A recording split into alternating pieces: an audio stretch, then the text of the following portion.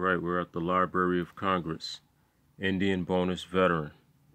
Now, LOC doesn't specify this young man's culture or uh, tribe that he's from.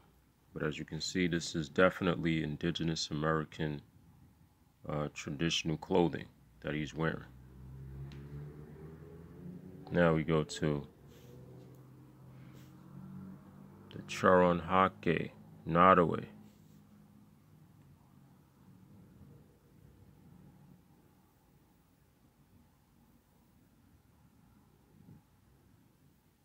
Next, Montauk, Miss Emma Depp King. She's dressed in traditional clothing. All right, Montauk. Let's visit their sister tribe, Shinnecock, New York Heritage Digital Collections. This is Shinnecock. And this is her friend, who's Montauk. Right? She's dressed in traditional clothing. Next, we're going to visit the Smithsonian Institute. Bertha Ellen Wright.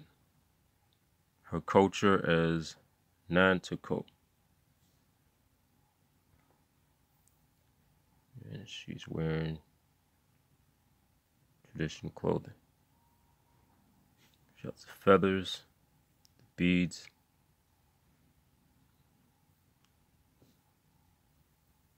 All right. Next, Ruth Bradby. She's from the uh, same tribe as uh, Chris Brown, Pamunkey. She has the feather headband. Next, go further down, South Carolina. South Carolina, the Waccamaw, the Waccamaw Indian. He actually resembles Chris Brown. You see the young ladies in the back. All right. Last but not least, we have Seminole or Seminoles, aka Muskogee.